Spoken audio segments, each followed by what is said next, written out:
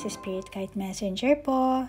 Okay guys, ngayon ang gagawin nating pick a card uh, dahil nag-request nga po kayo na gusto nyong malaman kung tama ba ang pinili nyong desisyon ng mga oras na yon, ng mga panahon na yon.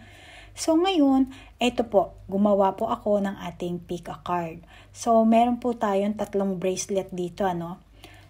And hindi ko na po sasabihin kung anong klaseng bracelet ang meron di tayo dito, pero may numero, kaya tingnan nyo na lang po yung bracelet kung saan kayo may in love, yung inyong uh, first attraction sa bracelet. And pera pa dyan, meron tayong sa likod ng number natin, meron tayong yung ating card 1, meron tayong grapefruits. Yan, ang, yan po ang ibabasbas ko sa mga oracle cards, sa mga baraha na babalasahin ko ngayon. Ano? So, hindi ko pa alam kung anong lalabas na baraha. And then, dito naman sa ating card 2, meron po tayong rose. Okay? So, meron tayong grapefruits, meron tayong rose. And sa ating card number 3, meron naman po tayong orange sweet na aroma oil. Yan pong tatlong yan ang ibabasbas ko sa ating mga barahang gagamitin ngayon. Ano? So guys, pumili na po kayo kung ano ang gusto nyong uh, amoy at design ng bracelet. May dalawa kayong pagpipilian. Okay? So, itong ating card number 1, grapefruits. And then, ang ating card number 2 is aroma oil na rose. And card number 3 is orange sweet ang kanyang amoy. Okay? So, pili na po kayo. Para po sa mga pumili ng ating card number 1, na which is ito ang amoy ng aroma oil, ano? grapefruits. So, meron po tayong oracle card na control. So, ngayon ano, ang ating tanong sa ating mga baraha, no? kung tama ba ang pinili nyong desisyon ng mga oras na yon, ng mga panahon na yun. Ano? So, dito, meron tayong control na oracle card. Ang tanong natin dito ano, kung tama ba ang pinili nyo or tama ba ang pinili ko? So ikaw ano, card number one, ang nagtatanong dito sa barahang ito. So kung titingnan mo ang baraha, ang ating baraha, ano, sorry, gagamit ako ng stick, ano. So kung titingnan mo itong ating baraha na control, yung babae, nakayuko siya. Nakatingin siya sa baba, ano. Mukha siyang matamlay. Hmm. Mukhang matamlay yung mukha niya. Sa nakakita ko sa barahang ito, no, mukhang may pinagsisisihan itong babaeng ito.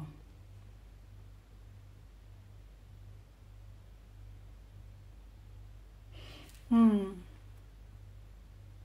Mukhang may pinagsisisihan ikaw, ano, na pumili ng card number one. Pinagsisisihan mo yung mga pinili mong desisyon. Pero ang sinasabi ng barahang ito, ano, sa buhay ng tao, maraming dapat pagpilian. Hmm.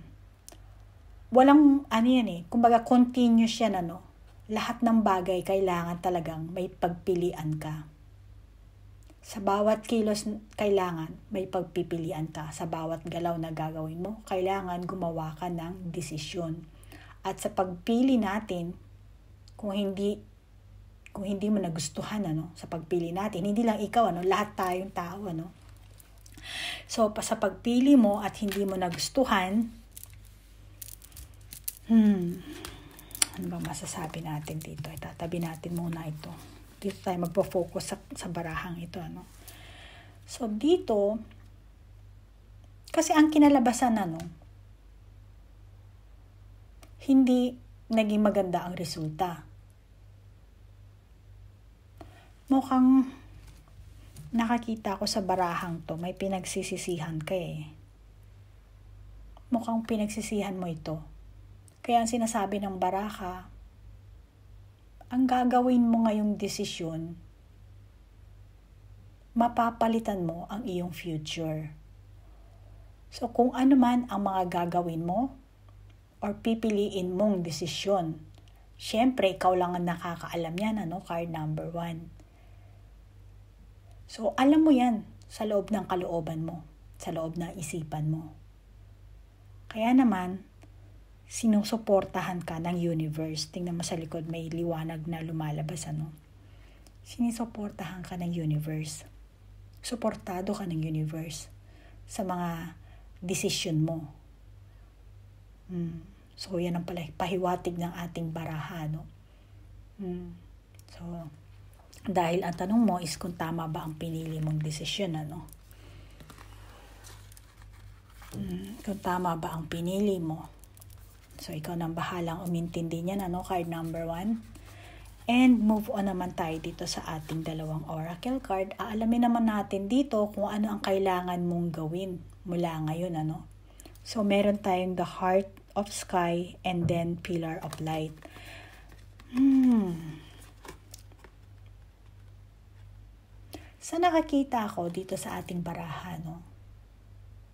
Siguro tungkol ito sa trabaho mo. Malamang na sobrang pag-aalala mo sa trabaho, Hmm, kung hindi naman siya sa trabaho, malamang tungkol sa pera, no? Hmm, yan ang nakikita ko dito sa ating baraha, no? Siguro yung iba sa inyo, sa paglipat ng trabaho, tapos napunta kayo sa sobrang busy na uh, trabaho, ano? Or section. Hmm. Kaya naman, naging busy ka, no? Card number one naging busy ka na. Malamang na wala ka ng extra time para sa family mo. Siguro kumonti na lang ang banding time nyo, no? Siguro nahirapan ka rin mag-adjust ng oras mo. Kaya naman, naiisip mo na kung tama kung tama ba yung ginawa mong desisyon. Tingin ko, napapaisip ka ng ganyan eh tingin ko napapaisip ka na mas maganda pa ata yung dati kong trabaho. Siguro naiisip mo din na dapat mas pinag-igihan mo ang pag uh, pag-iisip ano, bago ka nagbitaw ng desisyon. Malamang siguro hindi lang ikaw ang nag-iisip niyan Malamang pati yung mga tao sa kapaligiran mo. Pero, sa tingin ko, itong pinili mong desisyon, hindi ka nagkamali. Kasi, yung mga importanteng, mga importante sa yung bagay, ano, tingin ko naging aware ka naman. Hmm sa nakakita ko dito sa barahan to, no? So, tingin ko, naging aware ka naman. Tingin ko nalaman mo kung ano ang importante sa buhay mo. Dahil naging busy ka sa trabaho mo, no? Nawalan ka na ng oras.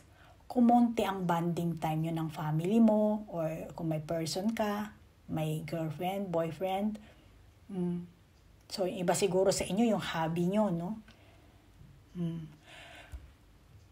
So ngayon, na-realize mo, na-realize nyo rin, no? Hindi yun nagagawa yung gusto nyo or hindi ikaw mismo, ano? Hindi mo nagagawa yung gusto mo. Kung single ka, kung ano ba ng uh, status mo ngayon, ano, kung may asawa ka or ano. So sa madaling salita, hindi mo na nagagawa ang gusto mo. So dahil nga, naging busy ka na, naging um, naging busy na kayo, no? Mga card number one na pumili nito, no? At yung pinili nyong desisyon ngayon, um, yung pinili nyong desisyon, ngayon ano, kung sakaling pipili ka ulit ng desisyon mo,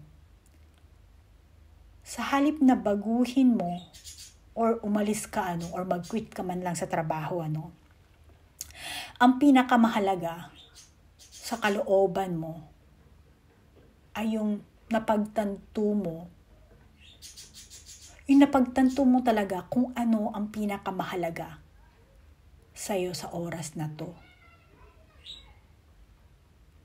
Kaya naman, kapag may konting oras ka, kahit konti lang ano, magbanding kayo ng family mo or ng ng karelasyon mo, no? Or yung hobby mo. So, mag-spend ka. Just like kung nagba-basketball ka or nagbi-billiard ka, syempre, pag ginawa mo yung hobby mo, pampatanggal din ng stress yan. Hmm. Pero alam mo, no, kahit gaano ka naman ka-busy or kahit gaano ka-busy ang isang tao or yun sa trabaho mo, no, pag nagpasya ka na Halimbawa, busy yung trabaho mo, no? Pag nagpasya ka naman na tatapusin mo ng ganitong oras, ganitong araw, magagawa mo yan kung desidido ka talaga. Kung gusto mo talagang tapusin sa yung pinaka-deadline, ano? Hmm. Ngayon, yung binigay ko sa iyong senaryo, ano? Isa lang halimbawa yan. So, card number one, ha? Kayo na ang mag-isip kung ano ba ang sitwasyon nyo, ha? Hmm. Sample lang ang binibigay ko. Pero ang keyword kasi dito sa ating baraha, no? Ang keyword kasi dito, dapat ma-realize mo or kayo, no, card number one, number one, ma-realize nyo kung ano ba talaga ang importante or mahalaga. Mahalagang tao or bagay para sa inyo, ano? So tingin ko, dahil may na-realize ka na, na-realize mo na ang mga tao or bagay na mahalaga sa iyo, no? So, magmula ngayon, dapat alamin mo kung paano mo ito pahahalagahan. O kaya naman, paano mo ipiprioritize ang mga mahahalaga sa buhay mo. Hmm. Yan ang nakakita ko dito sa baraha, no? Hmm kung ano yung mahalaga sa buhay mo. Kaya yung mga ganyang bagay dapat, ayan o, um, magsisimula dito, pataas, yan. So sinasabi, yung mga ganyang bagay dapat iguhit mo ulit sa isipan mo. Hmm. So, yan ang mensahe sa iyo ng ating The Heart of Sky at Pillar of Light. Okay? So move on naman tayo dito sa ating next card. Dito naman sa ating forgiving and learning. Anong gusto mo? Uh, ang tanong kasi natin dito, ano? Kung ano ang gusto mong kung patawarin mo yung sarili mo, no? Hmm. Kasi nakikita ko sa baraha, no, na oras na siguro na pakawalan mo ang nakaraan at i-heal mo ang sarili mo. So, dito ang tanong natin ano, kung dapat bang patawarin mo ang sarili mo or sisisihin mo ano ang sarili mo. Hmm, ano ba ang gusto mo? Patawarin ang sarili mo or hmm, dahil sa mga pinili mong desisyon ano. So ngayon dito sinasabi ng baraha na pakawalan mo na ang nakaraan at i-heal mo ang sarili mo. Nang sa ganun, mas maraming pag-ibig at pagkakaisa ang dadating sa buhay mo. Katulad na lang ng relasyon mo sa family mo, hmm. at saka yung mga kasamahan mo sa trabaho, na mga siguro high blood ano. mga taong possessive, mapag-control. Hmm. Siguro yung iba sa inyo may hindi magandang kinalalagyan ngayon ano. Hindi ko alam kung sa bahay, sa trabaho ba. Hmm, kayo nakakaalam yan ha, card number one. So katulad nitong larawan ano, sa baraha, ang titingnan mo mukhang sinasabunutan yung babae. Hmm. Hmm. Mukhang inungod-ngod pa yung mukha niya eh. So ngayon, siguro yung, yung iba sa inyo, mukhang nahihirapan. Nahihirapan sa pinili niyong desisyon. Hmm. Kaya siguro, maaring hindi mo na napoprotektahan ang mga tao na mahalaga sa buhay mo, sa buhay nyo, no? Kayo, card number one. Pero ang sinasabi ng baraha, wala kang kasalanan. Okay lang yan. Ang isipin mo kung paano mo maibabalik ang oras at ang mahahalagang tao at bagay sa buhay mo. Kasi pwede ka pa namang, uh, anong tawag dito? Pwede ka pang mag-make up, ano. Hmm. So, kailangan, ibalik mo ang sarili mong power, yung power mo. At muli mong ipakita ang iyong kakayahan. So, siguro kasi may parte ka na may nagmamando sa'yo. Hmm. Siguro pumapayag ka na manduhan ka rin, ano? Pero ang pahiwatig naman kasi ng baraha sa iyo, ano, magandang karanasan yan para sa iyo. Dahil sa mga nais or may, sa mga kagustuhan mo, no? Hmm, sa napili mong desisyon, kung ano man desisyon, kung ano man sitwasyon ang meron ka, ikaw nang nakakaalam yan, ano, card number one. So, ang kinabagsakan ng mga naranasan mo, realization. Kaya sinasabi ng baraha, na patawarin mo ang sarili mo. Hmm. Kasi kung hindi nangyari ang mga bagay na yan, mga sitwasyon, yung mga problema na pumasok sa buhay mo, malamang na hindi mo marirealize ang mga bagay na na-realize mo ngayon. Hmm. Siguro yung mga bagay or tao na mahalaga sa'yo, no? Na binigyan mo ng importansya malamang na hindi mo magagawa yan dahil sa naranasan mo, no? So, sa kabaliktaran ng mga napili mong desisyon, natuto ka na. Natuto ka na bigyan pahala- pahalagahan ng mga tao ano, or bagay na mahalaga. Mahalaga pala talaga sila sa'yo. Hmm. Mas mabibigyan mo pa sila ng pagmamahal. Kaya ang resulta sa pinili mong desisyon ay maganda. Kaya naman, huwag mong sisisihin ang sarili mo. Huwag mong sisisihin ang sarili mo. Hmm.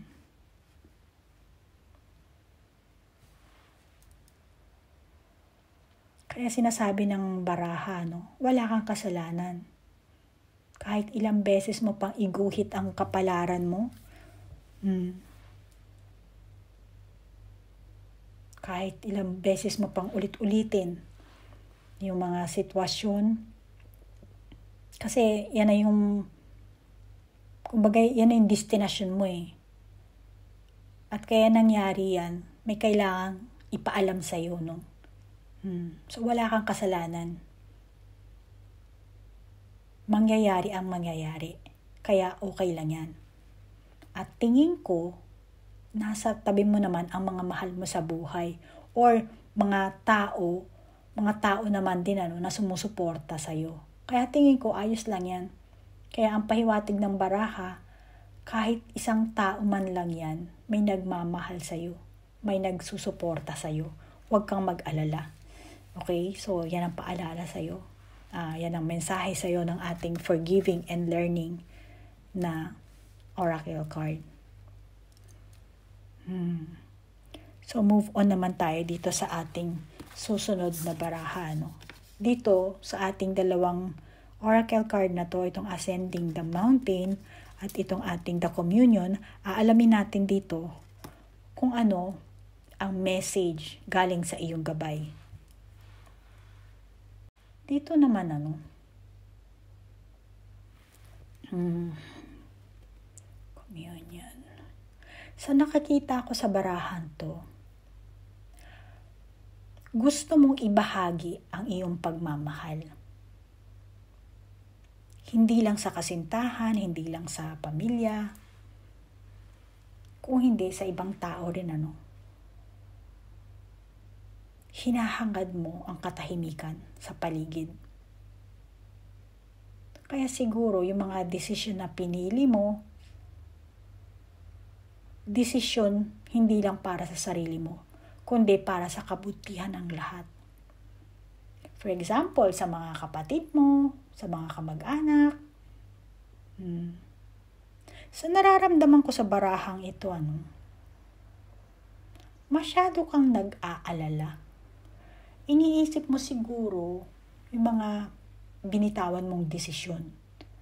Siguro iniisip mo na hindi maganda ang naging uh, naging kinalabasan. At sa nakikita ko dito sa ating communion na baraha, no,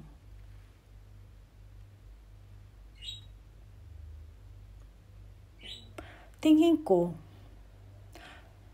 suportado ka ng iyong guardian angel. At meron pa tayo ditong ascending, ascending the mountain. Dito sa ating ascending the mountain, nagpapahiwatig ito kasi meron kang ideal life, ano?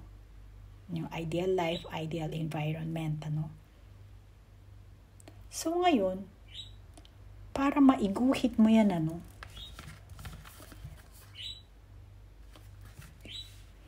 Para maiguhit mo ang iyong ideal life, ideal environment,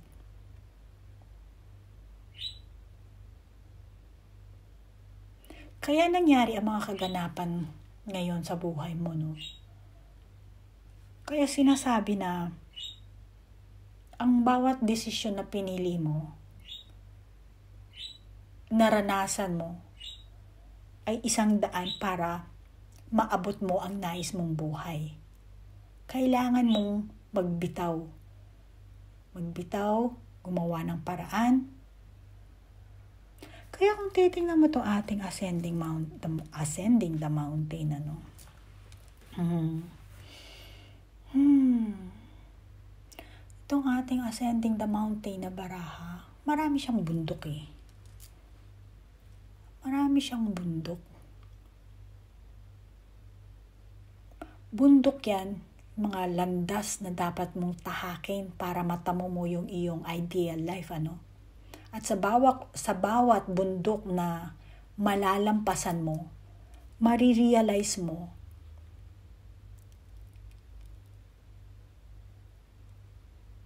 may marirealize ka eh. Yan ang mga bundok na dapat na malampasan mo, no? Marirealize mo, kaya ka ngayon nandito sa kinalalagyan mo dahil sa bundok na nalampasan mo malalaman mo na may natutunan ka. Natutunan ka sa bawat bundok na inakyat mo, mataas man o mababa, ah, mababa, mababa. Hmm. Kasi tinan mo, yung bundok, sari-sari yung taas. So, ayan, oh, may mataas, may, may mga ano, mab- mabababang bundok. So, ngayon, yan ang dapat mong uh, tahaking landas, ano, dapat mong maranasan. Hmm. Para maabot mo ang nais mong buhay. Hmm. Ngayon, dahil sa dapat mong tahakin, ano, itong mga bundok na yan, landas na yan, para maabot mo yung iyong ideal life, ano. So, sa bawat bundok na malalampasan mo, marirealize mo. Kaya ka ngayon nandito sa kinalalagyan mo. Dahil sa bundok na nalampasan mo, malalaman mo na may natutunan ka sa bawat bundok na inakyat mo. Mababa, mababa man siya, makitid man, mataas, uh, makitid na daan, may maluwag, may matinik, sari-sari ano. Pero ang lahat ng yan ay naging dahilan kung bakit ka ngayon nandyan sa kinaroroonan mo. So yung mga hinahangad mong magkaisa kayo ng pamilya mo or ng karelasyon mo, kung may karelasyon ka. Hmm. At malalaman mo rin yan sa sarili mo. Marirealize mo na may nangyaring uh, ganito. Kaya mo sila na ipagtanggol o kaya naman kaya nagkaisa kayo, ano? So, depende kung ano ang relasyon ang meron kayo sa ngayon, kung anong sitwasyon ang meron kayo ngayon, ano? Pero ang sa akin, babasahin ko lang ang mensahe ng baraha. Hmm. So ngayon ano, kabuuan ng ating mensahe ng ating buong baraha, ano, kabuuan kung titingnan natin ano. Hmm. So sinasabi na huwag kang mag-alala kasi the universe has your back. Ayan yung liwanag ng ng universe ano sa ating baraha, unang baraha. At sinasabi na hindi ka nagkamali sa binitawan mong desisyon. Dahil ang mga pangyayari ay isang mensahe para sa iyo, para maramdaman mo, malaman mo kung ano ang mahalaga sa buhay mo. Kahit naging mahirap ang bawat landas na tinahak mo, no? Tulad ng sabi ko kanina, itong ating bundok, ano? Hmm. Nalampasan mo to ngayon eh. So, nalampasan mo at ngayon may idea ka na. Alam mo na ang higit ang higit para sa iyo. Ang importanteng bagay, sitwasyon, or ano man yan, ano, na para sa iyo. At ang mensahe ng reading na to, para sa iyo, ano, realization. So, na-realize mo kung ano ang importante sa iyo, kung ano ang mahalaga sa iyo. So, tingin ko, card number one, hmm, ito ang resulta ng ating tanong, ano, kung tama ba ang pinili mong desisyon nung panahon na yon, ng mga oras na yon. So, ikaw nang bahala umintindi, ano, card number one, kung ano bang sitwasyon ang meron ka. Hmm. Kung sa tingin mo naka-resonate ka dito sa card na to, then take it. Kung hindi naman, meron pa tayong uh, card number 2 and card number 3. Kung sa tingin mo, napili mo tong card number 1, ay hindi ito sa akin. Pwede kang mag-change, okay? Nasa sa'yo yan. Okay? Then take what resonate and leave the rest. Okay? So, card number one, hanggang dito na lang ang resulta ng iyong reading ng ating pick a card. Ano? Then, move on po tayo sa ating card number two. So, card number one, kung hanggang dito na, kung hanggang dito na lang ang iyong panonood, maraming maraming salamat. And sa oras na inilaan mo, no, maraming salamat. And stay safe po kayo. Namaste po. Bye-bye. Para naman sa pumili ng card number 2, ano? Hmm. So dito, no, aalamin natin kung tama ba ang pinili mong desisyon, ang mga oras na yun, ang mga panahon na yun, ano? Hmm, dito sa, ay sorry, nagalaw ko yung ating camera.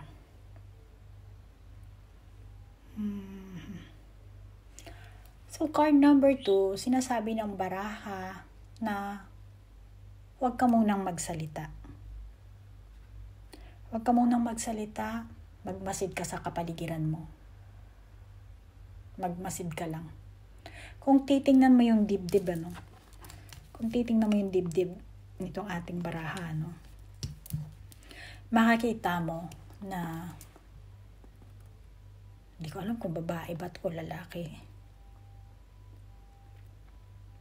Pero makikita mo may pintuan Ayan o, may pintuan siya. Hmm.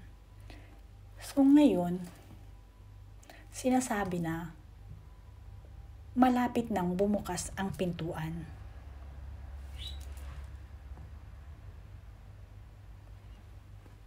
Siguro, two months from now. Kasi meron tayong number two eh. So, two months from now, o kaya naman mga 3 months from now. Kaya ang tinatanong nyo, no, kayo na pumili nito card number 2, no, kung nagkamali ba kayo sa pagpili ng desisyon. Sa ngayon, malamang hindi nyo pa alam ang naging kasagutan, ano,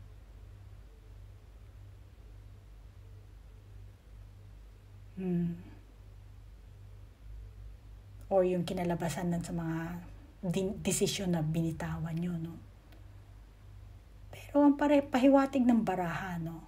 Malapit mo nang malaman ang sagot. Card number 2. Malapit mo nang malaman.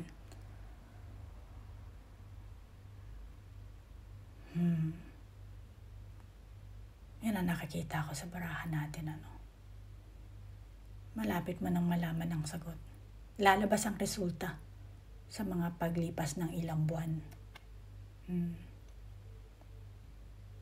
Kaya nasabi ko kanina, hmm, two months from now, kasi meron tayong number two. Kaya naman siguro mga three months, ano. Hmm, malapit mo nang malaman ng sagot. Lalabas na ang resulta sa paglipas ng ilang buwan. So, nagpapahiwatig ang baraha na may mga pintuan na hindi mo napansin hanggang ngayon. So, yung pintuan na yan ang bubukas. Kung titingnan mo itong bab hindi ko alam kung babae or lalaki to, sorry ha. Hindi ko alam kasi. Pero kung titingnan natin, ano, mukhang hindi pa siya adult. Ano, mukhang hindi, hindi naman, ano ba, hindi naman teenager, no? Pero mukhang hindi pa siya adult eh. Hmm.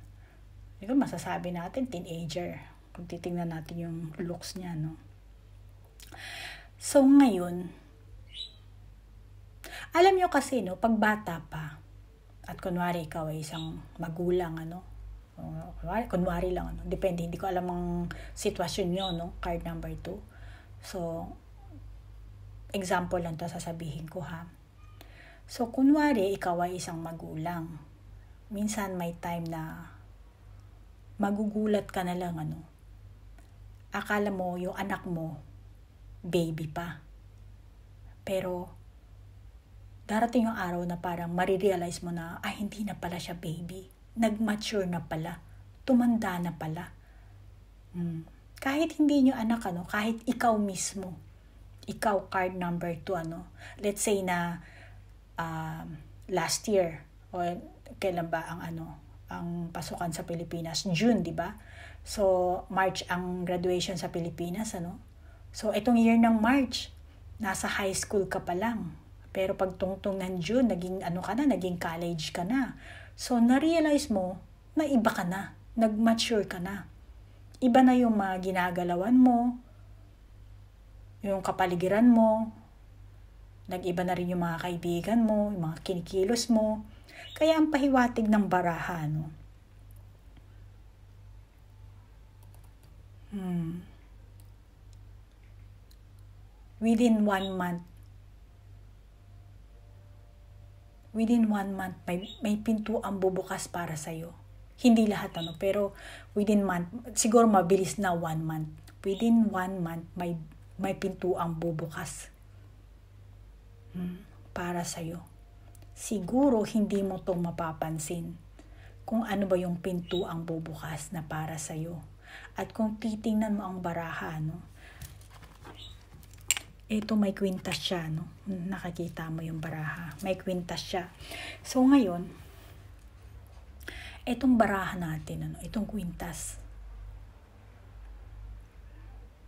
At saka yung pananamit niya, eh, pero pa sa, sa kwintas niya, yung pananamit niya, pati yung kamay niya, no? Titigan nyo na lang yung ano ha, yung ating oracle card. Kayo na mismo ang tumingin, ano? At baka meron kayong napapansin din, ano? Kung malakas ang inyong kutob, then kayo nang bahalang uh, mag-ano ha, mag-interpret ng sarili nyo. So ngayon, balik tayo sa pananamit nito, no? At yung kamay niya. Ako, no, bilang isang tarot reader, ano, nakakita ako sa barahang to, mukha siyang devosyonado. Ang pananamit niya, at tingin ko, no, yung mukha niya, mukhang tapos na siyang magdasal. mukhang sinabi niya na yung request niya kay Lord. Siguro pa ulit-ulit niyang ginagawa to. Baka yung iba sa inyo, no, gumagawa ng affirmation, um, siguro yung iba sa inyo nagmamanifest, siguro, no, hindi lahat. Hindi lahat ng card number 2, ano. Hmm. So, yung iba siguro sa inyo, naaalala nyo yung mga nakaraan nyo, naiisip nyo, na pag-uusapan nyo, yung mga nagagawa nyo. Yung mga nagagawa nyo siguro, no? So, mga naging palatandaan ng kahapon nyo. So, sinasabi ng baraha natin, ano, na hindi mo kailangang intindihin yun. At isa pa, ang sinasabi ng baraha, dahil sa nag-effort ka, nag naging devotion ka, no? nagdebosyon ka. Kaya naman, ang mga hiling mo ay napakinggan sa itaas. Hmm. malakas ka siguro sa itaas. mm. So, sinasabi ng baraha na napakinggan sa itaas yung hinihiling mo. Kaya tingnan mo yung baraha para dito may para siyang may wifi. Hmm. Kaya ang pahiwatig ng baraha, wala kang pagkakamali. Sa pinili mong desisyon, wala kang pagkakamali. Ang sinasabi sa iyo ng barahang ito, no? maghintay ka lang. Maghintay ka lang. Kaya nga sinasabi na huwag ka muna magsalita. Ang kailangan mo, magmasid at maghintay. Hmm. Yan ang pahiwatig sa'yo ng ating card number 1, ano? So ngayon, move on tayo dito sa ating pangalawang card. Meron tayong the corn, keepers of the earth. Hmm. Kayo mismo ha, titigan nyo rin yung card ha, para paganahin nyo yung inyong intuition, ano? Hmm. Okay, so dito sa ating baraha, no, aalamin natin kung ano ang kailangan mong gawin magmula ngayon. So, ano ang kailangan mong gawin? Ang simbolo ng card, kasi meron tayong the corn, ano? Nagpapahiwatig itong ating corn, ano, ng material prosperity. Malamang ano, card number 2. Ito ang perfect, ang perfect, perfect timing para sa'yo. So sinasabi na, panahon na para anihin mo kung ano yung iyong tinanim. Kung ano yung tinanim mo, no? Di ba ganun din ang sinabi sa atin ng ating kaninang ano, sorry, ng ating listen na card. Hmm. Hmm.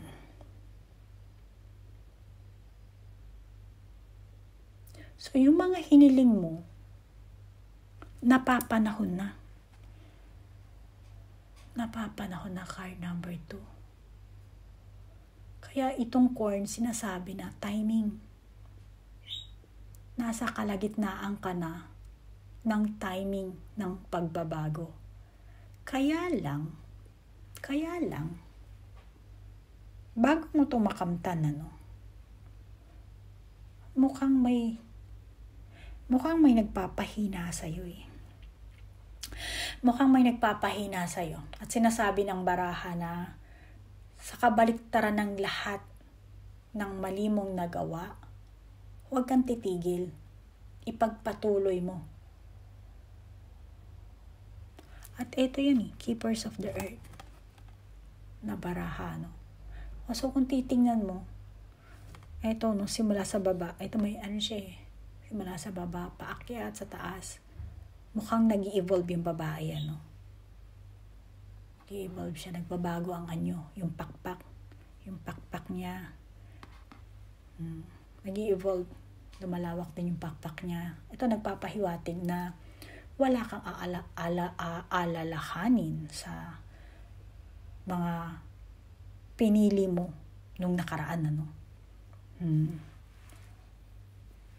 Maliwanag na ang pahiwatig ng baraha na papunta ka na sa next stage or level ng buhay mo. Hmm. Papunta ka na eh. At nararamdaman ko na ang pag evolve mo, tingin ko masakit. Masakit. For example, example lang to ah. Hmm. For example, ikaw yung isang werewolf, ano? Siyempre, pag naging werewolf ka, mag-iiba ka ng anyo mo. So, mababanat yung buto mo, yung balat mo, masakit yun, di ba? Kaya sisigaw. Sisigaw yung tao, yung werewolf na yun. Ano? So, ganun din ang pahiwatig ng baraha sa'yo. Ang buhay mo ay biglaang mag expand Tatalon ka, lilipad ka ng mataas, lalaki ka, masakit, sari-saring emosyon, Hmm. Marahil sa ganyang paraan. Marahil sa ganyang paraan, ano? Hmm. May bagay na hindi ka kasi komportable. Siguro hindi maganda ang pakiramdam.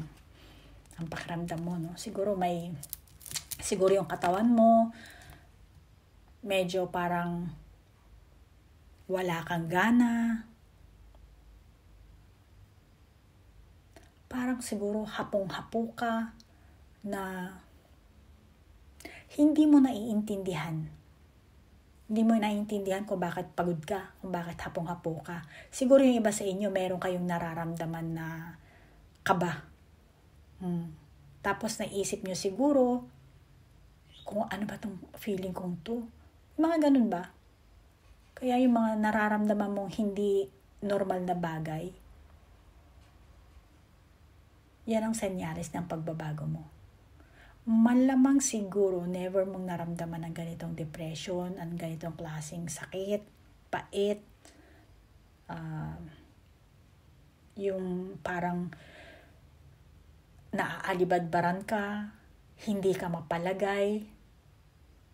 Mahal siguro meron ding heartbreaking din siguro nangyari din, ano?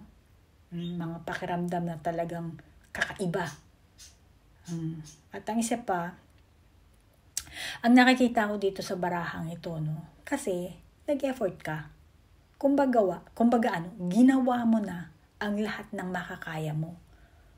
Kaya naman, nag-iisip ka kung kailan Kailan ba magbubunga? Kailan ba mamumunga ang lahat ng mga pinaghirapan mo? Kailan mo ba maaani? Hmm.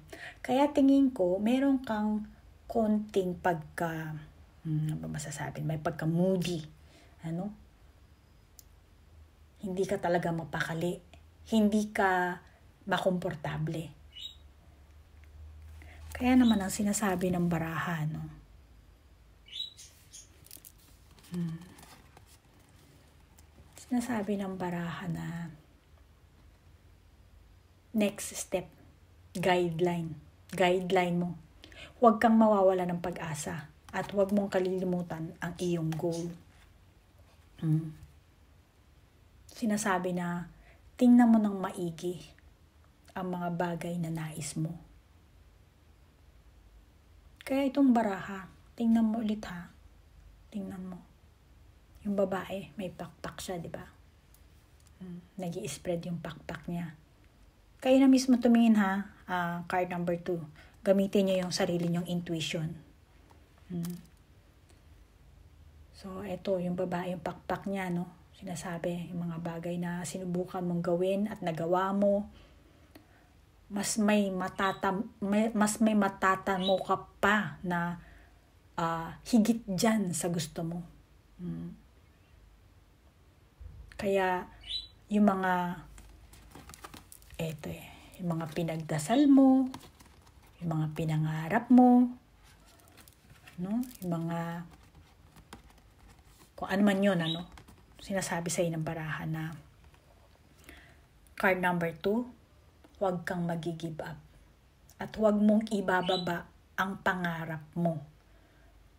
For example, ang pangarap mo, yung sweldo mo, uh, hindi ko alam kung magkano ang sweldo sa Pilipinas ano I'm sorry let's say piso piso ang isang uh, let's say piso ang arawan mo or isang oras mo no so sa nangarap ka gusto mo dalawang piso siya pero dahil sa tingin mo wala ka nakakita pagbabago kaya magigive up ka hmm, magigive up ka na lang ano kung hindi naman bababaan mo yung yung yung presyo mo no or hindi ko alam kung anong sitwasyon na meron kayo ano or baka isipin mo, magpalit ka na lang ng trabaho. Kaya ang sinasabi ng baraha, no? Ipagpatuloy mo ang sinimulan mo. Huwag kang magigive up. Card number two. Huwag kang magigive up. So, ipagpatuloy mo kung ano yung sinimulan mo, hmm, kung ano ba yung gusto mong layunin, yung hangarin mo, kung ano ba yung dreams. Kasi nag, nag ano ka eh, nagdasal ka eh. Nag-effort ka naman eh. Hmm. Nag-devotion ka, di ba? So, yan, pinapahiwatig sa ng ating keepers of the earth at the corn. So, sinasabi na, huwag kang mag-give up. So, dito naman sa ating susunod na baraha, no? Alamin natin kung gusto mong patawarin ba, sisihin ba ang sarili mo o gusto mo bang patawarin, kailangan bang patawarin ang sarili mo. Sa so, pasensya na ha, hindi siya, kanina yung sa card number 1, siguro makakita nyo isang card lang ang meron tayo nito.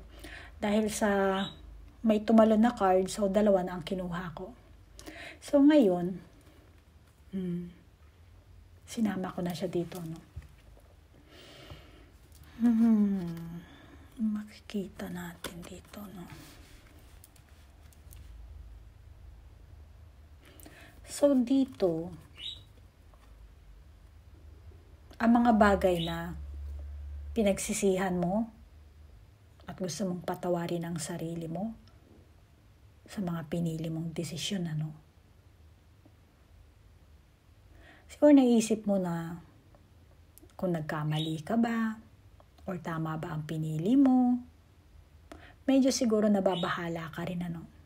Siguro gusto mo na harapin ang sarili mo. Kasi meron tayong chemistry na baraha. Kung titingnan mo, yung kamay ng lalaki dito, no? Hmm. Yung kamay ng lalaki, mukhang meron, um, mukhang may liwanag eh. Nakikita niyo ba? Ito ha, dito. Yan. So, mukhang may liwanag siya. Okay? Na hindi mo alam kung anong klaseng liwanag yan. Tapos yung, eto no, yung babae. Parang, kung titingnan mo, parang nag-aalangan siyang hawakan yung liwanag, ano. Hmm. Para nag-aalangan pa siya eh.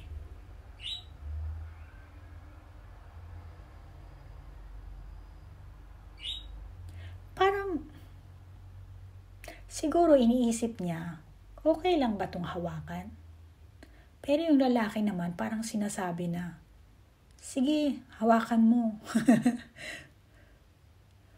so ngayon, itong barahang ito, no, nagpapahiwatig na pasulong ka sa teritoryo na hindi mo alam. So, itong barahang to, tulad din ito ng ano eh, ng listen na baraha natin, ano.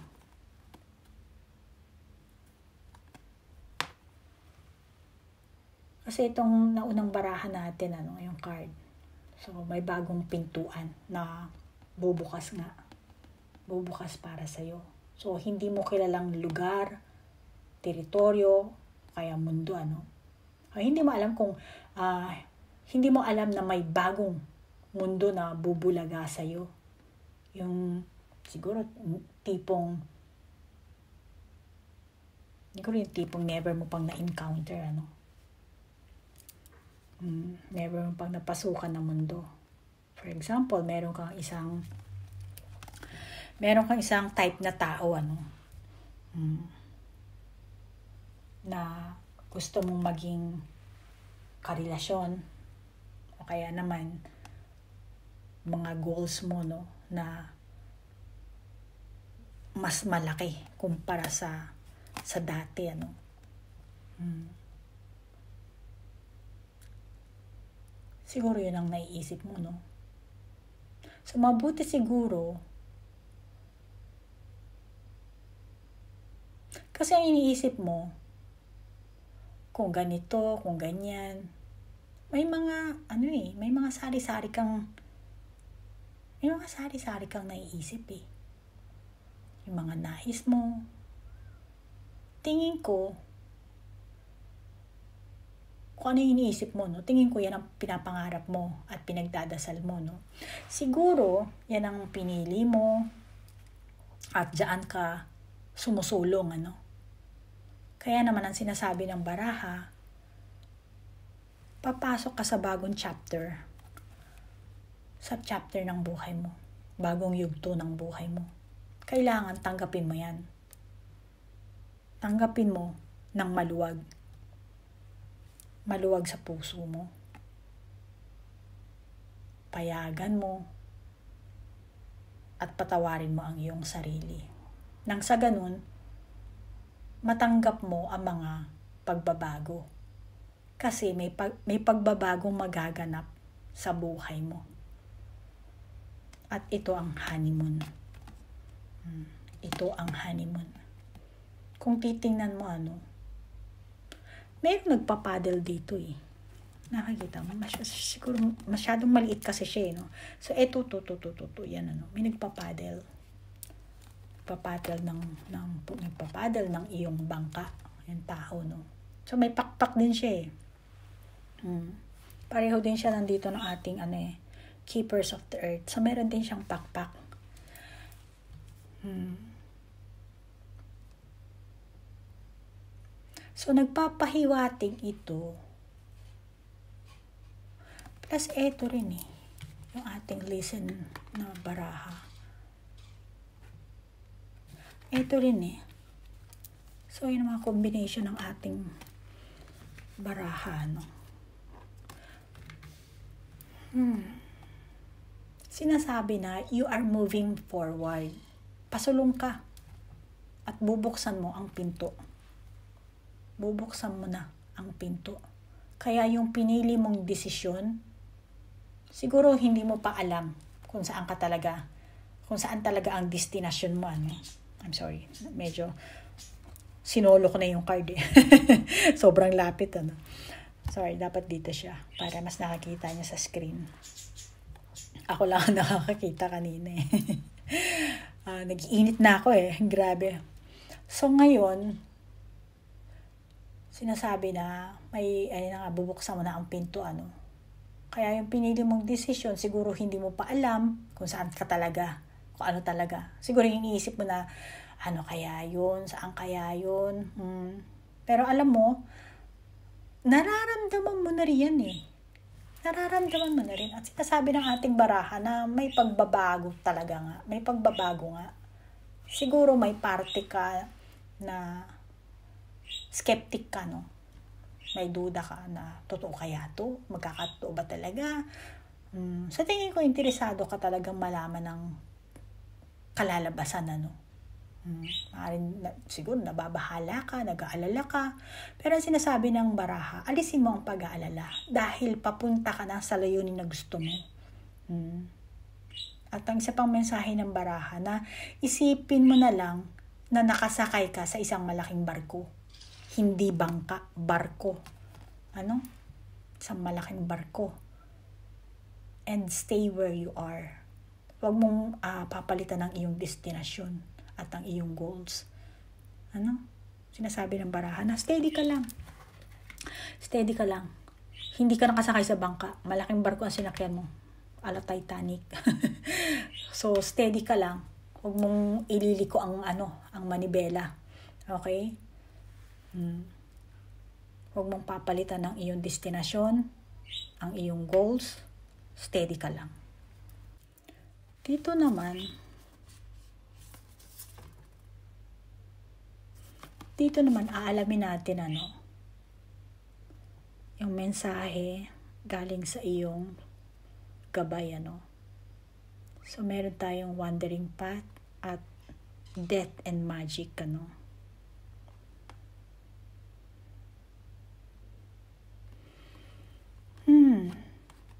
Nagpapahiwatig ito na ang spirit guide mo ano. Hmm. Papahiwatig ito na, sorry, yung ating screen nag-ano. Ay, namuti ang ating screen, sorry. Ano na nangyari?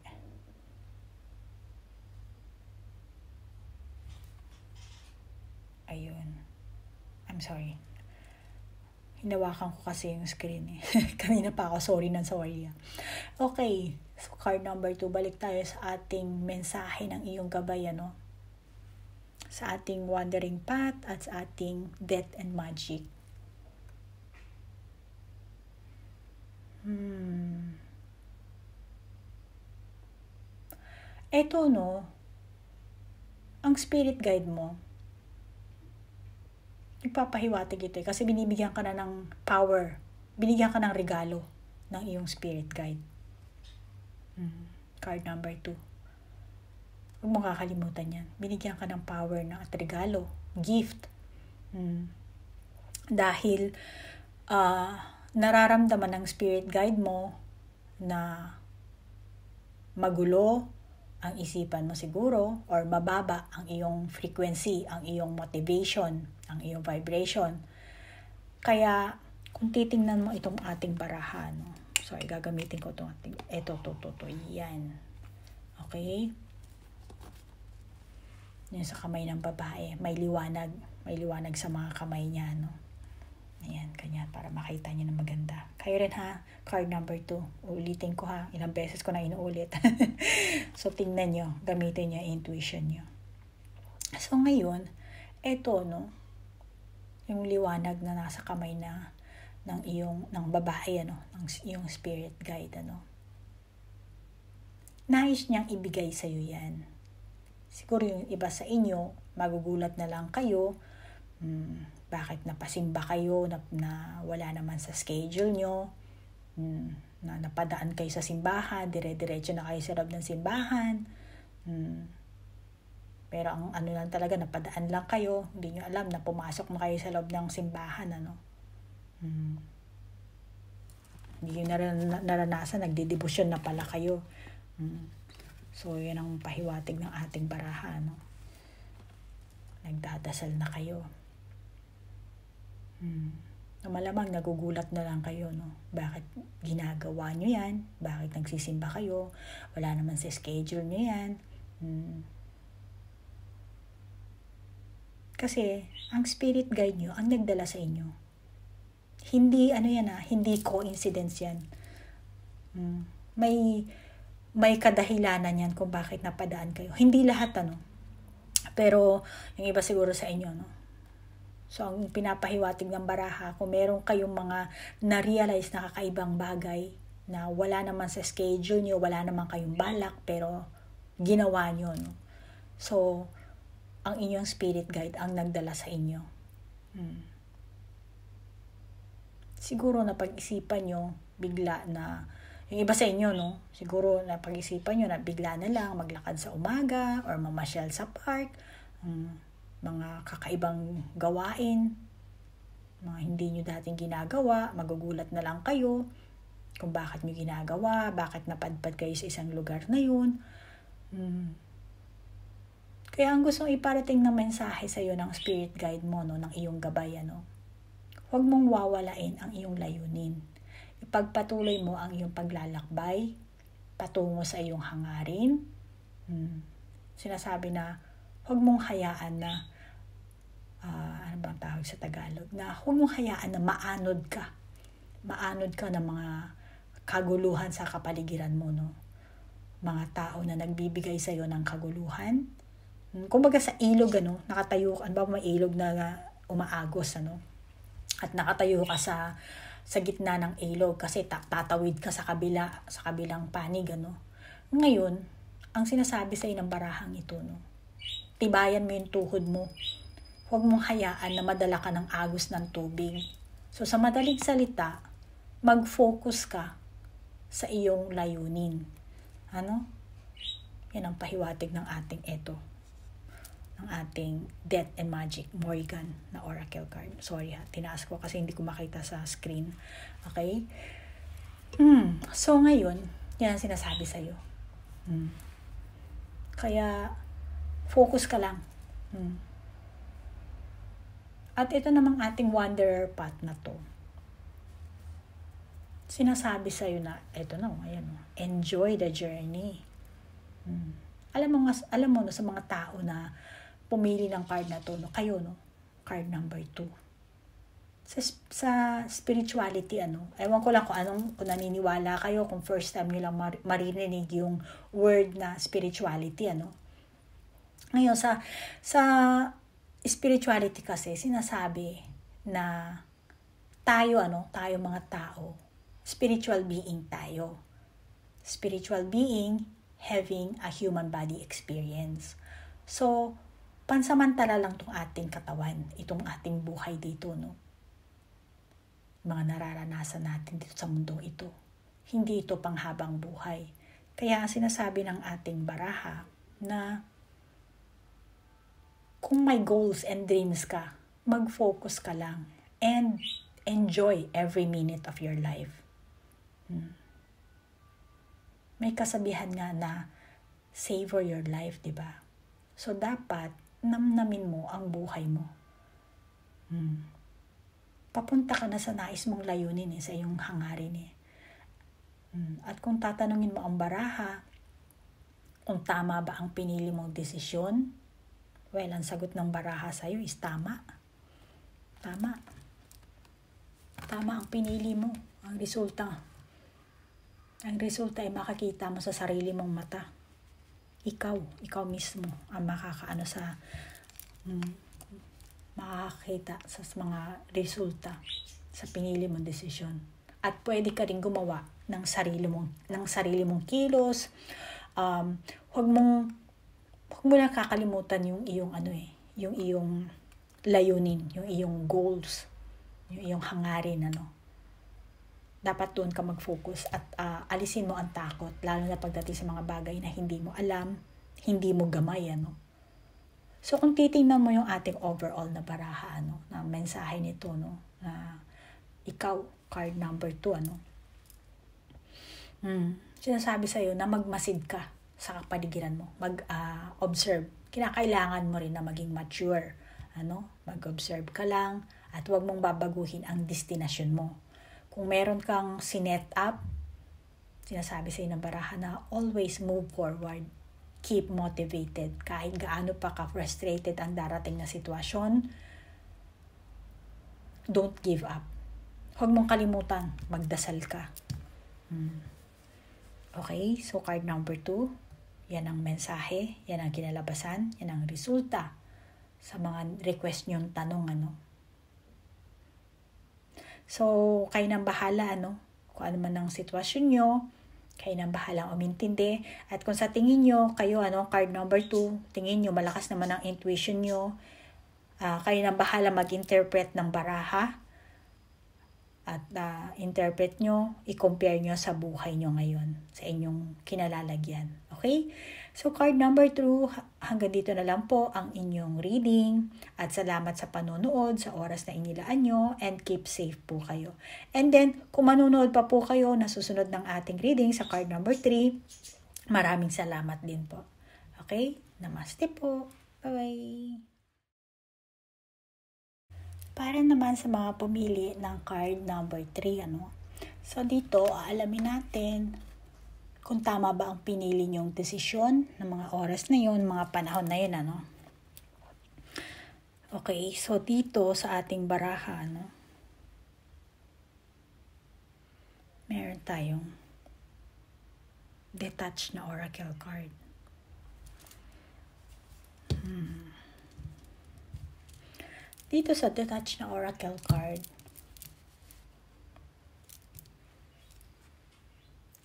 sinasabi ng baraha na hmm,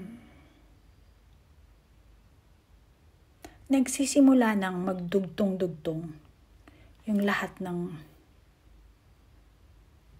yung lahat ng ng bagay. Nagsisimula na. Yung mga nais mong bagay, nagsisimula ng magdugtong-dugtong yan, ano? Hmm.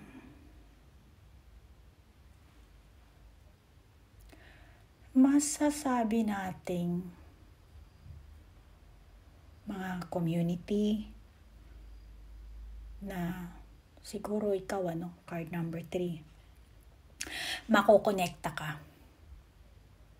Mga connection sa kaibigan,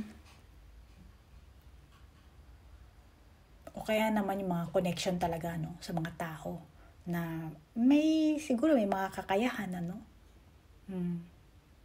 Maaari din yung sarili mong lohika or sarili mong idea.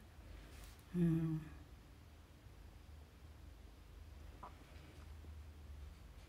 At kung makikita mo sa baraha, meron tayong, ayan, number 11. Hmm. So, itong ating number 11, nagpapahiwatig ito hmm, siguro a year from now.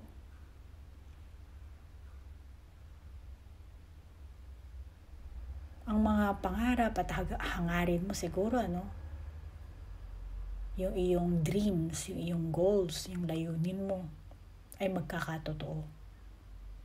Kung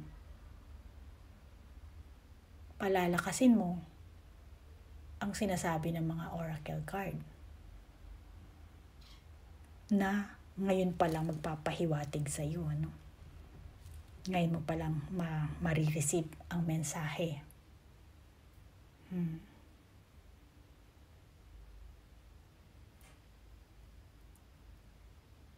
Hmm. Sinasabi kasi pag dugtong-dugtong, ano. Kaya sinasabi ng baraha na dapat magsaya ka. magsaya ka na, card number 3. Dahil sa pagtsatsaga mo, magbubunga ang lahat. Hmm.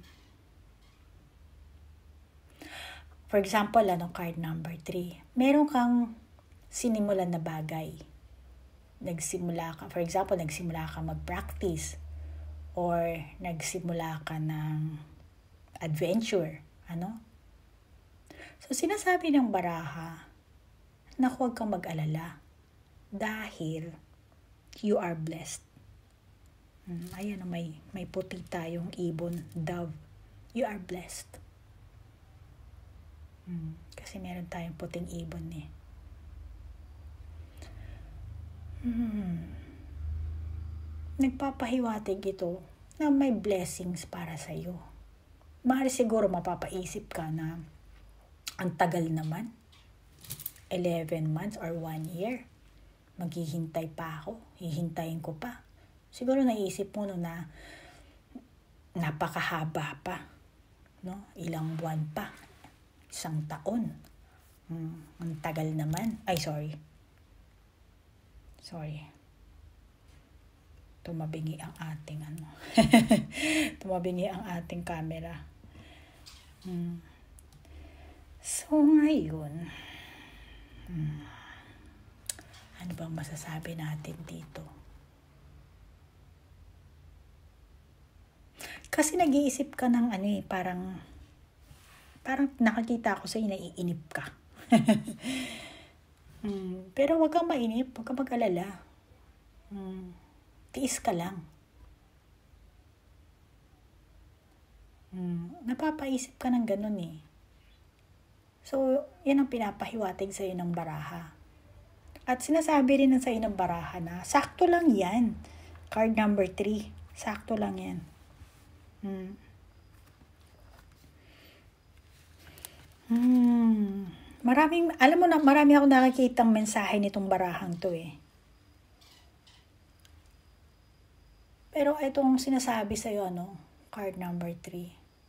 Dahil kung mabilisan mong makakamta ng gusto mo, ang yung layunin, ang yung, yung dreams mo, no, malamang may mga bagay kang mapapalampas. Hmm. O kaya naman, malamang na hindi mo mararamdaman ang kahalagahan nito. Maari pang, hmm, maari siguro matanggap mo agad tapos biglang nawala ano.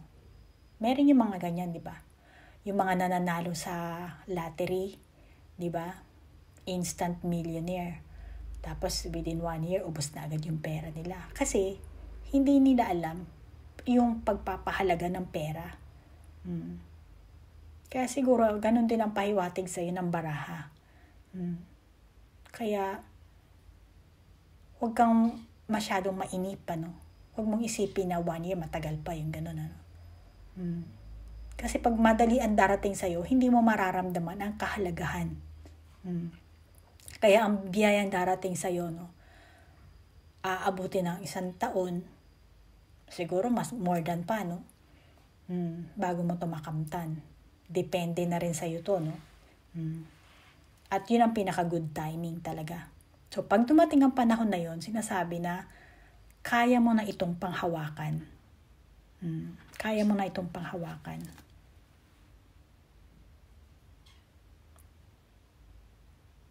mas gaganda ba mas gaganda pa ang bagay ano sitwasyon kumpara sa mga hinahangad mo sa inaasahan mo kaya kung meron ka mga binabalak may mga plano ka isipin mo na maaabot mo ito sa loob ng isang taon isipin mo na magbubunga yan hmm.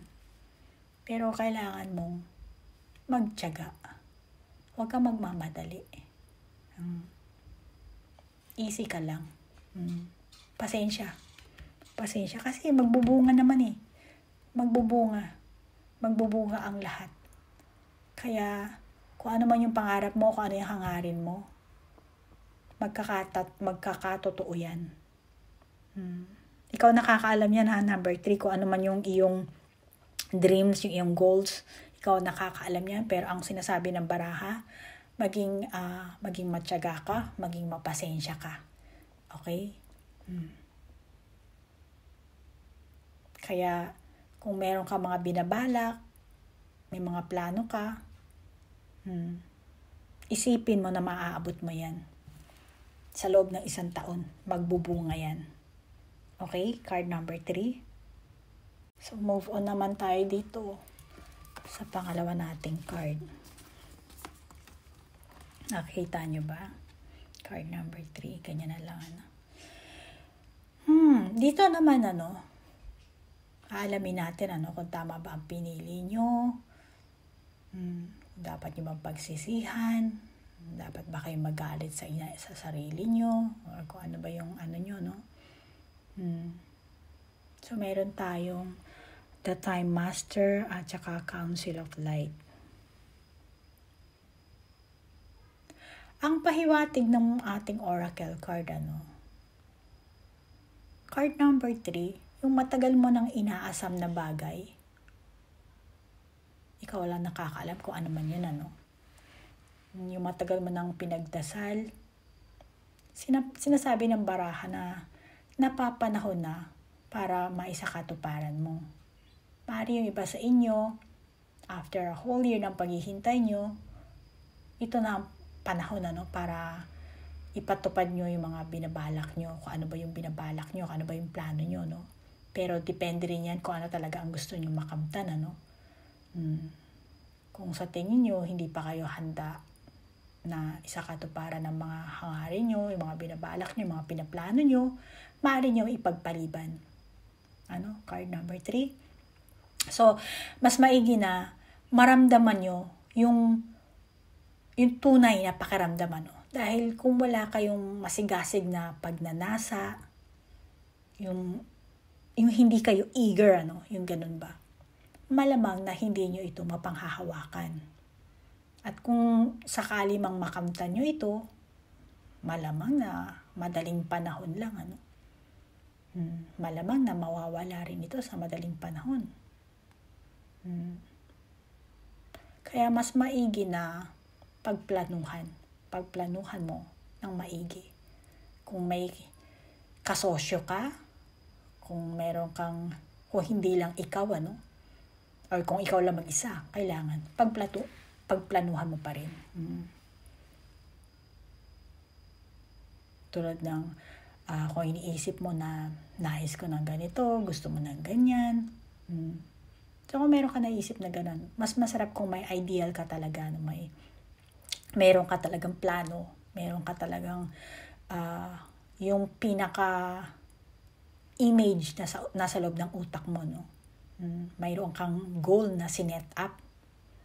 Mm. At sa nakikita ko sa ating oracle card,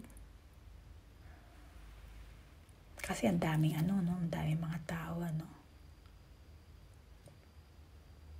At dito rin, pag nakita mo, marami rin siyang mga tao. May hindi nga lang masyadong ano, clear, ano? May mga mukha rin ng tao, ano? So nakakita ko dito partnership. Maaaring iba sa inyo gusto niyo na may partner, may kaantabay sa buhay. Hmm. may katulong sa inyong pangarap, pareho kayo ng hinahangad, pangarap, hmm, maring isang asawa na makakasama, makakatulong nyo para maipatupad nyo yung inyong hangarin, ang inyong pangarap, yung layunin nyo. O kaya naman yung iba sa inyo, simpleng, siguro business partner lang, ano?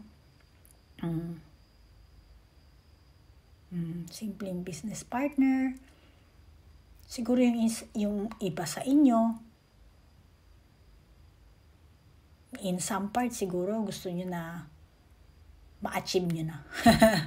Maaring nagkaroon na kayo ng katuwang sa buhay, ano? Meron na kayong kasama, may asawa na kayo, kasal na kayo, or may ka-live-in na kayo, at kayong dalawa, gusto nyo isakatuparan yung kung ano ba yung matagal nyo ng layunin, yung matagal nyo ng inaasam, ano?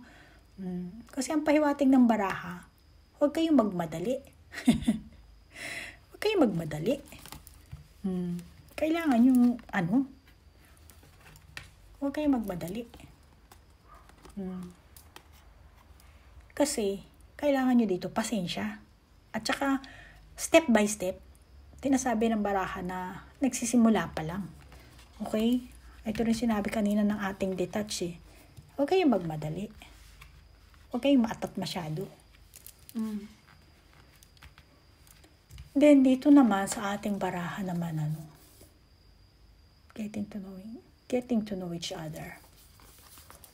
Dito, alamin natin ano, kung ano ang gagawin mo mula ngayon ano. Hmm. So dito, sa nakikita ko sa barahan natin ito ano. Hmm. Kasi yung tanong natin ano, na kung tama ba ang pinili mong desisyon dapat mo bang patawarin yung sarili mo or sisihin ang sarili mo, no? Um, sa mga binitawan mong desisyon, sa ginawa mong desisyon, ano? Hmm. So, dito, kung titingnan mo yung itsura ng babae, ano? Parang sinasabi na, eto to, itong babae dito, no? Parang sinasabi na, kaya mo ba yan? yung ganun yung mukha niya eh, no? Hmm. At tingin ko, ikaw to. Ikaw to na sinasabi mo sa sarili mo na, kaya ko ba to? Hmm.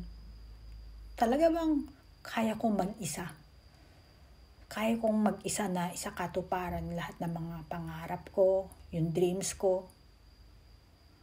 For example lang ha, hindi lahat ano, pero bigyan ko lang kayo ng sample.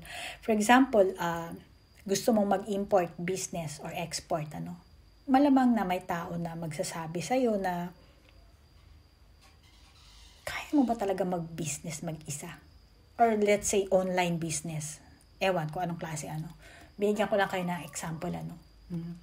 So, may mga tao sa kapaligiran mo na nagsasabi na kaya mo ba yung ganyang klaseng business? Hmm. Nag-aalala yung mga kaibigan mo, yung mga kakilala mo. Kaya naman talagang tinatanong nila sa'yo kung okay ka lang. uh, mm, pero tingin ko sa'yo, medyo trap ka rin, ano. Hmm. Kaya kung tatanungin natin ang barahang ito, no, kung tama ba o mali ang pinili mong desisyon, sinasabi ng baraha na time master. Meron tayo dito, ano, yan, ito pala, ito pala, ayan, time master, the time master. Okay? So, tama ang pinili mo. Maaari sa siguro, maaari siguro sa simula, marami nag-aalala sa'yo, nagdududa sa kakayahan mo. Hmm. Siguro yung iba iniisip, ikaw lang mag-isa, wala kang kaano, kaantabay, walang tutulong sa'yo kasi nga hindi sila, nag-aalala sila pero hindi sila nag, nagtitiwala or hmm, hindi, hindi sila naniniwala na kaya mo ano. So ngayon, kaya lumabas ang ating time master. Ano? Hmm. Hmm. Kaya sinasabi ng baraha na tama ang pinili mo.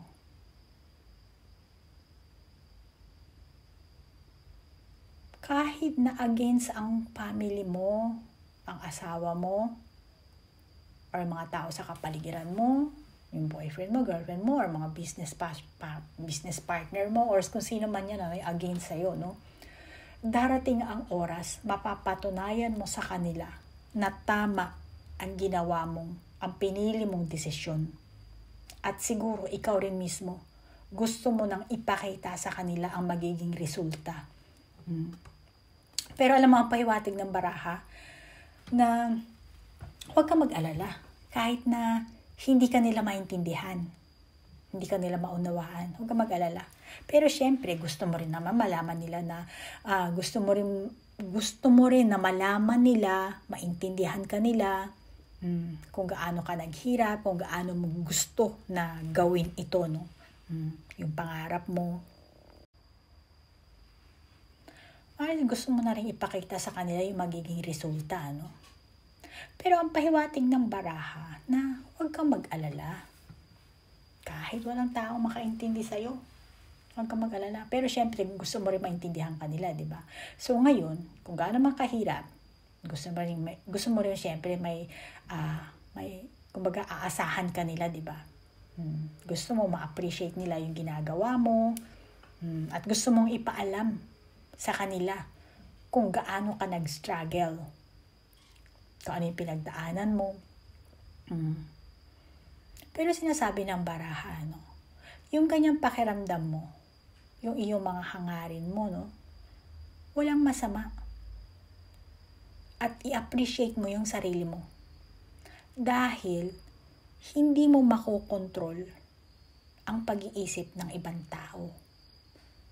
Hindi mo sila ma, uh, ma hindi mo sila makokontrol eh. Kaya maiging simulan mo i-control ang sarili mo, hindi yung ibang tao. Kontrolin mo ang sarili mo. Hmm. Okay, card number 3. Simulan mo kontrolin ang sarili mo. Simulan mo sa sarili mo ang pag-appreciate, ang pagka, pagkilala mo sa sarili mong kakayahan. Kasi sinasabi ng baraha no, na Maganda kung maintindihan ka ng mga tao mo sa paligid mo. Pero ang importante, yung ikaw. Kaya dapat, be yourself. Hmm. Kilalanin mo yung sarili mo at ilabas mo yung, yung sarili mo. Huwag mo itago kung ano yung gusto mo, kung ano yung pangarap mo, kung ano yung, yung ikaw mismo. No? Kasi sinasabi ng barahan na wala kang kapalit. Ang pagkakataon ng tagumpay ay nasa sayo. Marahil gusto mo na maunawaan kanila kung ano man yung binabalak mo, iniisip mo, may mga anggulo ka sa, bu- sa buhay na siguro malamang na naggigilaiti ka, no? Dahil hindi ka nila naiintindihan. Pero sinasabi ng baraha, no? Card number 3. Tandaan mo, sila ay sila, ikaw ay ikaw. Hindi mo mababago ang tao sa paligid mo. Ang mababago mo lang ay ang sarili mo. Kaya dapat be yourself. Master your own thoughts. At sinasabi ng baraha na magagawa ka ng, uh, makakagawa ka ng magandang resulta sa pinili mo. Sa pinili mong desisyon. Hmm. So, hindi mo na kailangan sisihin ang sarili mo. Hmm. So, yan ang pahiwatig ng ating baraha. No? Alam mo, lahat naman eh, kahit yung card 1, card 2, mga pumili, ano, mas maigi na yung magsisi ka sa ginawa mo kaysa sa hindi ka, hindi mo ginawa, pinagsisisihan mo. Hmm. In a good way ha. Depende kung anong gusto mong gawing ano. So, mas maigi na yon kung meron kang dreams, meron kang plano, mas maigi na yon gawin mo. Kahit na maging frustrated ka, kahit na bumagsak ka, gawin mo. Hmm nag-try ka, bumagsak ka, na-frustrated ka, at least ginawa mo. Nag-try ka. Sinubukan mo. Okay? So, yan ang mensahe sa'yo ng ating mga baraha. Then, dito naman sa ating Voyage of the Heart, then etong ating Fortune, mukhang maganda to ah. Mukhang maganda ang mensahe sa'yo nito ah. Hmm. Hmm, hmm, hmm. Eto na. Eto ang advice card mo, no? Mensahe ito magmula sa iyong gabay. So, sa nakikita ko sa barahang ito, no, nagpapahiwatig ito sa iyo.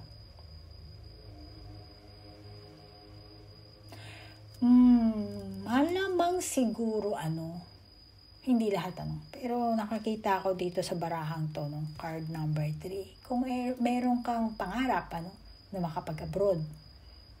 Hmm. Kung nagpaplano ka. Kung ikaw, ano, meron ganong klaseng pangarap, plano. Malamang na kapag nakapag-abroad ka, matagal ka bago makabalik. Bago makakabalik. At tingin ko, tingin ko sa iyo, tingin ko nasa guhit talaga ng kapalaran mo to eh.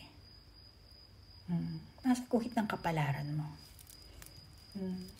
Siguro yung iba sa inyo, no? Ibang pumili nito, card number 3, ano? Hmm. Hmm. Nasa kapalaran mo na to, card number 3. Matagal niyo nang pinangarap siguro to na makapag-abroad.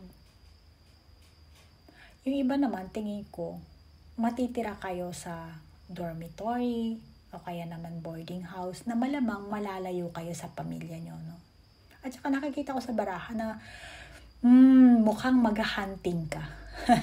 Hindi ko alam kung anong klaseng hunting. At tingin ko, no, handa kang pasukin ang ibang klase. Ibang klase ng mundo. Kaya lang, kaya lang may pag-aalinlangan kayo ay pag-aalinyahan ka sa mga bagay, lalo na sa pagbitaw ng desisyon, ano. Kasi nakikita ko sa'yo dito, confused ka, nalilito ka. Dahil siguro sa mga tao o yung mga o yung mga mahal mo sa buhay. Hindi ka nila siguro naunawaan. Gusto mong maintindihan ka nila. Siguro dahil may pangarap ka, no? Hmm, hindi ko alam kung anong gusto mong pangarap, kung gusto mong iahon sa hirap ang iyong pamilya, or kung ano man yung pangarap mo, ikaw lang nakakaalam niyan, ano? Card number 3. Hmm, may pangarap ka para sa kinabukasan mo, kinabukasan nyo, ng pamilya mo. Hmm. Pero ang kapalit naman, malalayo kayo sa isa't isa. Kaya nga tingin ko sa'yo, na pumili ng card na number 3, ano, mayroon kang pagkalito, naguguluhan ka. Hmm. Pero ang sinasabi ng baraha, no, hindi ka nagkamali sa pinili mong desisyon. At bigyan mo ng palugit ang sarili mo. Hmm. Bigyan mo ng palugit ang sarili mo. Mga isang taon siguro. At lalawak ang mga kaalaman mo. Connection sa mga tao, ano. At kung titingnan mo ang baraha, ayan, ang fortune. Ano? mabuting kapalaran. At meron din tayong number 27. Ayan, number 27. Hmm. Ang number 27, sinasabi na you are in the right path. Kaya ipagpatuloy mo lang kung ano yung gusto mo. Mag-effort ka. Ipagpatuloy mo yung effort mo. Magpursige ka. At magtiwala ka sa sarili mo. At guhit na ng kapalaran mo yan eh. Guhit ng kapalaran mo yan. kailangan matiwala sa sarili. So kung titingnan mo ano ang kabuuan ng ating baraha ngayon ano lahat-lahat yan ano. Yung kabuuan ng reading para sa iyo ano card number 3. May matatanggap kang gantimpala ano sa lahat ng pagtsatsagang gagawin mo. May matatanggap ka. Una-una, kapalaran mo kasi yan nakasulat na yan sa palad mo na kailangan. Kumbaga, yan na yung pinakabuhay mo eh. So, may gantimpala. Mm. Magbubunga lahat ng pagtsatsaga mo, pagtitiis mo. Kaya kung ano man ang mga binabalak mo na dapat isa katuparan mo, gawin mo na. Hmm. Kung ano man yung plano mo, isa katuparan mo na. Maaaring may mga tao na hindi believe sa'yo, hindi naniniwala, maaaring nalilito ka. Hmm. Pero sinasabi sa ng baraha na ang mahalaga, bumilib ka sa sarili mo. Yan ang kailangan mong gawin magmula ngayon. At ang parte sa buhay mo. Um, may parte sa buhay mo na tao no, na kailangan talaga mag-sacrifice. Pero, sa nakikita ko naman, hmm, may, may ganun talaga, no? May kailangan mag-sacrifice para makamtan mo itong isa. Yung, hmm. So, card number 3 sa barahan natin, ano, yan ang nakakita ko. Hmm. Pero kailangan mo pa rin pagplanuhan, magtyaga ka, magpasensya ka. Pero nasa kapalaran mo na yun, nasa guhit na ng palad mo. Hmm. So, ikaw nang bahalang umintindiin ito, ano? Card number 3. Ikaw ang nakakaalam kung anong sitwasyon ang meron ka ngayon kung sa tingin mo naka-resonate ka, then take it. Kung hindi naman, just leave it. Di kung malakas naman ang intuition mo, ikaw na ang bumasa ng baraha. At kung sa tingin mo, yun ang mensahe para sa'yo, then take it. Okay? Hmm. So ako, yan ang, yan, yan ang nabasa ko sa ating baraha. At dahil ito ang request nyo, ano, uh, kayo po lahat ng ano, uh, card number 1, number 2, number 3. So yung mga nag-send po sa akin ng mensahe sa messenger, na sana mami gumawa kayo ng ganitong uh, pick a card. Mm. So ayan po, gumawa na po ako. And maraming salamat at uh, nag-request po kayo ano. Nag-abala pa po kayo, nag-type pa kayo para lang mag-request para sa pick a card natin ngayon ano. Maraming maraming salamat po. Mm. So card number 3, hanggang dito na lang ang iyong reading ha. At ikaw na ang bahala. Okay? So stay safe po kayo. At uh, marami pa rin pong nahahawa sa COVID. Mag-ingat po kayo. Ano? At uh, gusto ko pong magpasalamat sa mga lahat na nag-request ng personal reading.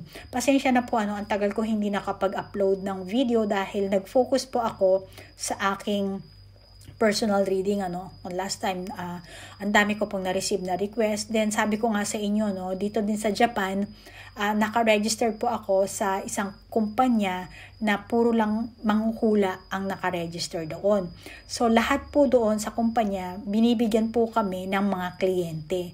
So pag naka uh, last year kasi nag-ano ako doon na nag-register ako. So ako ako mismo, no, ngayon lang ako nakakatanggap ng kumbaga gantimpala. Ngayon na po nagbubunga ang aking uh, pinaghirapan last year. So last year nag-register ako, umabot din ako ng almost one year bago lang ako, bago ako makatanggap ng maraming uh, personal reading na request. Kung tutuusin na, no, ako po, gusto ko talaga personal reading kasi one-on-one reading. Hindi katulad nung uh, general reading ano kasi pag general reading, marami kang kailangang energy i-pick up. So, mas maganda ang one-on-one dahil yung isang tao lang ang bibigyan mo, ang pipick upin mo ang energy. So, para sa akin, mas gusto ko po yun. And then also, nag, nag-offer din po ako ng, uh, anong tawag dito, um, nagko-connect din po ako sa mga spirit, ano. So, kung interesado rin po kayo, pwede rin po kayo mag-request sa akin. Okay? So, guys, hanggang dito na lang po. Pasensya na, nag, uh, kumbaga dito na ako nag, uh, nag-share ng aking experience. Ano. So, ikaw, card number 3 ha, baka katulad din kita sa akin na umabot ako ng almost one year bago ko na uh, natanggap, natamo yung aking kumbaga gantimpala. Um, so, ako sa akin, ano, ngayon lang ako nakaka... Uh, yung pagtsatsaga ko last year, yung pagpapasensya ko, eto, etong year na to, 2021, saka ako nakakaani mm, ng uh, biyaya, ng gantimpala. So, sana ganun din kayo. Okay? So, kasi pag masyadong mabilis, ano, hindi nyo mararamdaman talaga ang kahalagahan ng isang bagay na malaki pala ang kabuluhan nito sa inyo. So, konting tiis lang. Okay? Tiyaga ang kailangan. Okay, so hanggang dito na lang po. Namaste po. Bye-bye. Doon po sa gusto ng clarification, yung extended version ng reading, kung gusto nyo pong mag-request ng personal reading, pwede nyo po akong sendan sa aking email, sa aking gmail.com. Ano? So, meron po akong uh, spiritual.journey411 at gmail.com na email address or kaya naman po sa aking Facebook account. So, sa aking Facebook account naman po, para maka, may, meron naman sa description box na link na palagi ko naman uh, nilalagay. Ano. Kung hindi nyo po makita, um, i-click nyo na lang po yung Spirit Guide Messenger, tapos lalabas po kayo sa ganitong screen. And then, uh, meron pong about, ano. So, sa about na screen na yan, makikita nyo sa baba, merong Facebook link. So, i-click nyo lang po yan para mag-jump in po yung inyong screen sa aking Facebook account. Okay? Then, doon po kayo mag-request ng friends or sa messenger. And then, sa payment naman po, wala po tayong ibang option kundi PayPal. So, ito po, i-click nyo po yan para mag-jump in din po kayo sa PayPal na uh, sign, ano ba yan, sign in screen, ano. At doon po kayo gagawa ng transaction, ano. So, doon po sa mga nagtatanong ano, kung ano po ba ang way ng aking panghuhula. Okay? So, unang-una ano, gusto ko lang po kayo bigyan kung anong klase ang mga merong uh, type ng ano ano fortune telling ano. Um, hindi ko lang alam kung al- kasi sa sa Japanese at saka sa Chinese pareho kasi ang ano nila ano ang category hina, hinahati ng ng Japanese at ng mga Chinese pati na rin sa sa Taiwan ano. So meron po silang three types ng fortune telling. Yung isa sinasabi na life art or way of techniques ano ng fortune telling. Yung isa naman um art art ang tawag nila, art fortune telling divination. Yung pangatlo naman is, um, ano ba tawag doon? Appearance fortune telling. Okay, so siguro nalilito kayo. Ano, ano ba yung sabihin ng life, art, appearance, ano? So ito pong life, um, paraan po siya ng panguhula na nando na po yung Western astrology, Hindu astrology, ano pa ba? Night astrological, um, four pillars of destiny, ano pa ba? Um, Chinese fortune telling, numerology, at saka um, etc. etc. At mer meron din tinatawag na Z-Wei Du, which is Chinese din yun, ano? Mga sa mga Taiwan ata, mga ano yan.